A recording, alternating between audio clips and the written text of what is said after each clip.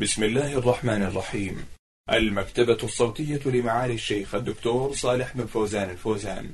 حلقات تبث في إذاعة القرآن الكريم. نور على الدرب. برنامج يومي.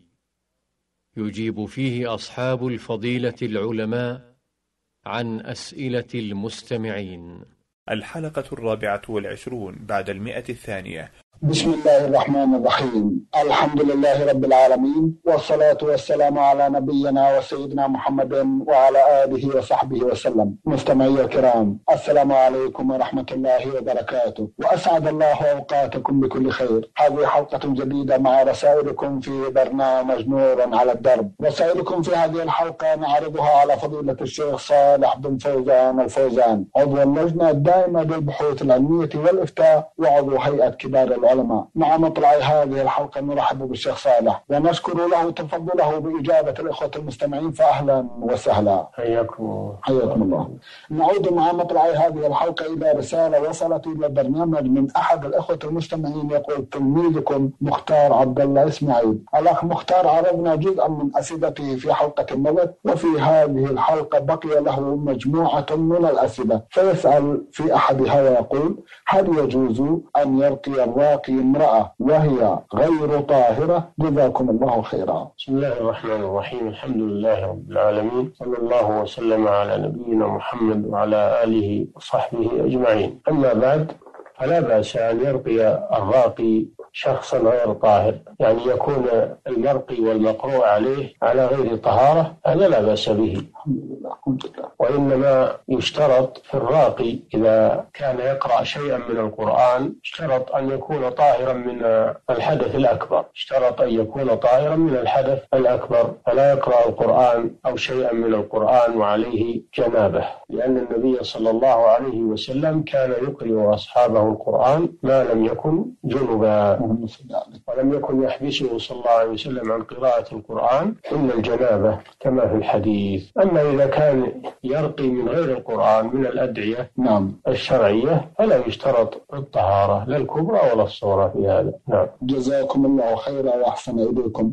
ما هي الطريقة المثلى لرقية امرأة مصابة بمس من جنون؟ وكيف يتم علاجها؟ بل وربما تكون مصابة بالسحر وهل يجوز أن تعالج بالحجامة؟ جزاكم الله خيرا. تعالج المرأة المصابة بالجنون تعالج بالقرآن. طيب. أن يقرأ عليها تقرأ عليها امرأة مثلها أو يقرأ عليها رجل من محارمها أو يقرأ عليها رجل ولو من غير محارمها عند الضرورة مع مع تسترها مع سترها. ستر الكامل وأن لا يمس شيئا من جسمها وإنما يكتفي بالقراءة والنفس عليها ولا يمس شيء من جسمها. فهذا كله جائز ومن العلاج بالقرآن. أما ما يفعله بعض الجهال من القراءة على المرأة الأجنبية وقد يمس شيء من جسمها أو لا تتحجب عنه فهذا أمر محرم لأن هذا فيه فتنة. فلا بد من مراعاة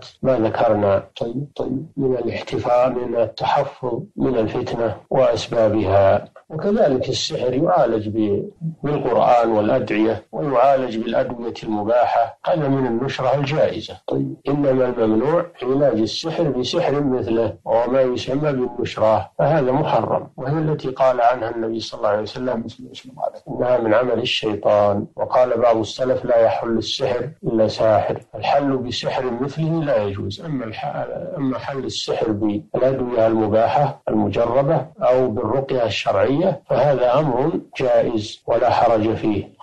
نعم.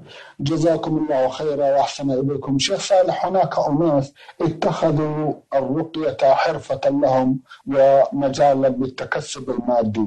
هل من كلمة حول هذا جزاكم الله خيرا؟ إذا كان هؤلاء يتقيدون بالضوابط الشرعية نعم. فيرقون بالرقى الشرعية من كتاب الله ومن سنة رسوله صلى الله عليه وسلم. والأدعية الشرعية فلا بأس بأخذهم الأجرة على ذلك كما ورد في قصة الصحابة الذين رقوا اللذيذ وأخذوا قطيعا من الغنم وأقرهم النبي صلى الله عليه وسلم على ذلك. أما إذا كان هؤلاء يستعملون رقا غير شرعية ورقى مجهولة أو شركية فهذا الأمر حرام. شرك بالله عز وجل ولا يجوز الذهاب إليهم ولا تصديقهم ويحرم ما يأخذونه من الأموال لأنه بغير حق وفي مقابل محرم. وكون الإنسان يتفرغ للرقية ويجعل هذا مصدرا لرزقه هذا أمر غير لائق. لكن كونه ينفع المسلمين ويكون قصد نفع المسلمين ودفع الشر عنهم فهذا أمر محمود. ولو أخذ عليه شيء من المال لا بأس. أما أنه يتخذ هذا حرفة ومصدرا للتكسب فهذا غير مرغوب فيه. لأن ذلك قد يجره بحكم الطمع في الأموال. يجره إلى إلى ما لا تحمد عقباه من الرقى غير الشرعية أو استعمال الأشياء المحرمة. أو الافتتان بالنساء لأن أكثر من يأتي إلى هؤلاء من النساء. فيخشى عليهم من الفتنة. فتنة الشبهة في العقيدة وفتنة الشهوة بمخالطة النساء. فهذا أمر يجب الاحتياط فيه ويجب وضع الضوابط الشرعية له وعدم التساهل فيه وألا يترك المجال لكل أحد ولكل من هب ودب من المحترفين ومجهول العقيدة ومجهول العلم والورع فإن هؤلاء يفسدون المجتمع باسم العلاج. فلا بد أن يكون الراقي معروفا بالعلم الصحيح وبالعقيدة الصحيحة وبالأخلاق الفاضلة والورع والتقوى. لا بد يكون معروفا بذلك وأما الحجامة نعم. فإنها طب نبوي طيب. الحجامة فعلها النبي صلى الله عليه وسلم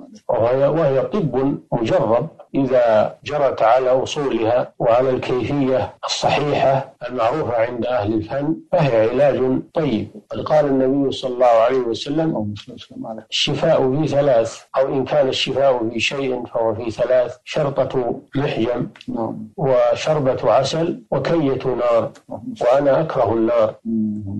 أو كما قال صلى الله عليه وسلم فجعل الحجامة من العلاج والطب المجرب الصحيح. نعم. جزاكم الله خيرا وأحسن إليكم. أخونا يقول عندنا في مدينتنا أناس يذهبون إلى الأضرحة والقبور وحتى إلى أشجار ويطوفون حولها ويقدمون لها الهدايا وينذرون لها أريد من فضيلتكم أن ترشدوني إلى الطريقة الصحيحة لدعوة الناس إلى توحيد الله عز وجل ونبذ الشرك والأوثان والنذر أيضا للأضرحة والأشجار. جزاكم الله خيرا. لا شك أن دعاء الأموات والأضرحة والأشجار أن هذا هو الشرك الأكبر وهو دين أهل الجاهلية الذين بعث الرسل عليهم الصلاة والسلام لدعوتهم إلى الله وجهادهم حتى يتركوا عبادة غير الله عز وجل خصوصا خاتم النبيين محمد صلى الله عليه وسلم. فإنه دعا إلى التوحيد ونهى عن الشرك وجاهد المشركين بالبيان واللسان وجاهدهم بالسيف والسنان حتى هدى الله سبحانه وتعالى من سبقت له السعادة وقامت الحجة على من عاند وكابر وجاهدهم صلى الله عليه وسلم وقاتلهم في ذلك امتثالا لأمر الله سبحانه وتعالى. يا أيها النبي جاهد الكفار والمنافقين واغلظ عليهم ومأواهم جهنم وبئس المصير. يا أيها الذين آمنوا قاتلوا الذين يلونكم من الكفار وليجدوا فيكم غلظة. واعلموا أن الله مع المتقين. قاتلوهم حتى لا تكون فتنة ويكون الدين كله لله. فإن انتهوا فإن الله غفور رحيم. فالواجب عليكم الدعوة إلى الله عز وجل والإنكار على هؤلاء والتغليظ في ذلك. لعل الله سبحانه وتعالى أن يهديه يا الله. وأيضا يحصل البيان للناس فواجب على علماء المسلمين أن يقوموا بهذا الواجب وإلا فإنهم يكونون معرضين للعقوبة. إذا سكتوا وهم يرون الشرك عند الأضرحة وعند القبور ولا ينكرون ربما أن بعضهم يزينون هذه الأشياء ويحسنونها ويسمونها بغير مسمياتها فيغتر بهم الجهال. فيكونون من دعاة الضلال ومن دعاة الشرك والعياذ بالله. يحملوا أوزارهم كاملة ومن أوزار الذين يضلونهم بغير علم. ألا ساء ما يزرون. الواجب على العلماء أن يقوموا بما أوجب الله عليه. وإذا أخذ الله ميثاق الذين أوتوا الكتاب لتبيننه للناس ولا تكتمونه. هذا واجب العلماء. وإلا ما فائدة العلم؟ وصاحب صاحبه لا يأمر بالمعروف ولا ينهى عن المنكر بل لا ينهى عن أعظم المنكر وهو الشرك بالله عز وجل. إنما يكون مثل الذين قال الله تعالى فيهم مثل الذين حملوا التوراة ثم لم يحملوها كمثل الحمار يحمل أسفارا. بئس مثل القوم الذين كذبوا بآيات الله والله لا يهدي القوم الظالمين. قال سبحانه وتعالى إن الذين يكتمون ما أنزلنا من البينات والهدى من بعد ما بيناه للناس في الكتاب أولئك يلعنهم الله ويلعنهم اللاعنون إلا الذين تابوا وأصلحوا وبينوا فأولئك أتوب عليهم وأنا التواب الرحيم. واجب على العلماء طلبة العلم ولو البصيرة في كل بلد وفي كل قطر وإقليم أن يقوموا بما أوجب الله تعالى عليهم. والدعوة إلى الله الأمر بالمعروف والنهي عن المنكر وبيان الحق للناس وأن لا يسكتوا على هذا الأمر الخطير وهو الشرك بالله عز وجل. وهم يشاهدون أهل بلدهم يقعون في الشرك الأكبر المخرج من الملة. ويسكتون على ذلك أو يلتمسون لهم المعاذير. نسأل الله العافية والسلامة. فالواجب عليكم تنبه لهذا الأمر الخطير التحذير منه والبيان للناس لعل الله أن يهدي من سبقت له السعادة وأن تقوم الحجة على من عاند وكابر وأن تبرأ ذمتكم من التبعة أمام الله سبحانه وتعالى. نعم. جزاكم الله خيرا وأحسن إليكم. اللهم انتشار التوعيه الشيخ صالح عبر وسائل كثير من الإعلام وكذلك بعض الصحف الإسلامية التي تحذر من هذا. لا زال يصل إلى البرنامج مثل هذه الرسالة. فتذكر أن في المكان الفلاني أناس يعبدون الأشجار والأحجار ويطوفون بالأضرحة ويتصدقون بالقبور وما أشبه ذلك. ما هي الطريقة المثلى حينئذ شيخ صالح؟ لا شك أن هذا الشر مستطيل وكثير في, في الأمصار والبلاد المجاورة. هذا أمر مشتهر ومعروف. وهناك أضرحة كبيرة مشهورة في الناس مشهورة في العالم. لا تخفى أضرحة كبيرة في أمصار عظيمة من بلاد المسلمين وهي أوثان تضاهي اللات والعزى ومناة الثالثة الأخرى وتضاهي الأصنام التي كانت في قوم نوح والتي أغرق الله أمة عظيمة من الأمم بسببها. لا شك أن هذا موجود ومعروف. الواجب على المسلمين أن يقوموا بما أوجب الله عليهم نحو هذه الأضرحة وهذه الأوثان وأن يبينوا للناس دين الله عز وجل دعوة الرسول صلى الله عليه وسلم وأن لا تأخذهم في الله لومة لائم. والواجب على العلماء بالخصوص لأن الله حملهم أمانة العلم. الواجب عليهم أن يبينوا وأن يحذروا الناس وأن ينشروا عقيدة التوحيد في المدارس وفي المساجد وفي تجمعات الناس وأن تكون الدعوة إلى الله مركزة على هذا الشيء. أما أنهم يدعون الناس إلى الصدق وإلى ترك الكذب وإلى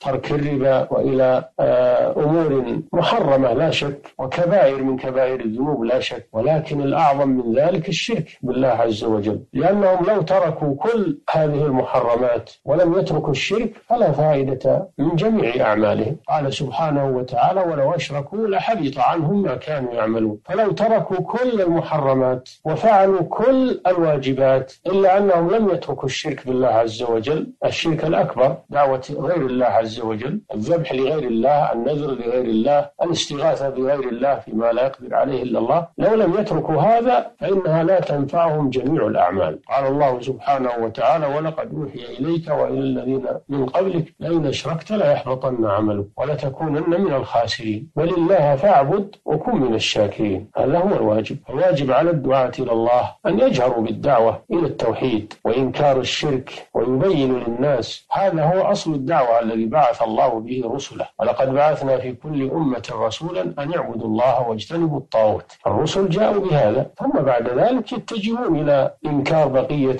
المنكرات. النبي صلى الله عليه وسلم لما بعث معاذا إلى اليمن أوصاه أن يبدأ بالتوحيد. فقال صلى الله عليه وسلم إنك تأتي قوما من أهل الكتاب فليكن أول ما تدعوهم إليه شهادة أن لا إله إلا الله. فإنهم أجابوك لذلك فيعلمهم أن الله افترض عليهم خمس صلوات في اليوم والليلة. فإنهم أطاعوك لذلك فأخبرهم أن الله افترض عليهم صدقة تؤخذ من أغنيائهم فترد في فقرائهم. لأنها لا تصح الصلاة ولا الزكاة إلا إلا بعد صحة العقيدة واستقامة التوحيد وهذا أمر ظاهر ظاهر في القرآن الكريم نعم. في كثير من الآيات. نعم نعم. وفي أحاديث الرسول صلى الله عليه وسلم وفي سيرة الرسول صلى الله عليه وسلم ودعوته هذا هو الواجب على الدعاة إلى الله عز وجل. نعم. جزاكم الله خيرا وأحسن إليكم، اذا يحتاج الموضوع إلى شيء من الحزم شيخ صالح، إلى شيء من آه، الحركة كما ترون. الله هو رغم انتشار التعليم الآن في العالم الإسلامي نعم. انتشار الجامعات وانتشار آه، التعليم بشكل معروف. نعم نعم. والمؤهلات العلمية. نعم. إلا أن هذا الجانب قليل من يهتم به. مع الاسف. وكثير من يغفل عنه. لا حول ولا قوة إلا بالله العظيم. العلي العظيم. ومعنى هذا أننا لم نعمل شيئا. مهما تعلمنا ومهما تثقفنا ومهما عملنا من الأعمال ما دام أننا لا لم نصحح العقيدة فمعناه أننا لم نعمل شيئا. أننا رجعنا إلى الصفر. نعم.